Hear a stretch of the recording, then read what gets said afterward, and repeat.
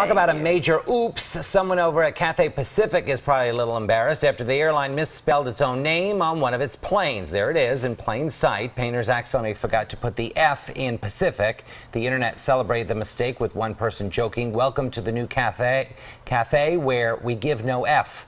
Another person commented, if an airline is going to make a mistake, let it always be on the paint job. The airline also tweeted saying, oops, this special livery won't last long. She's going back to the shop. I think it was a PR ploy. Well, it worked. Yep.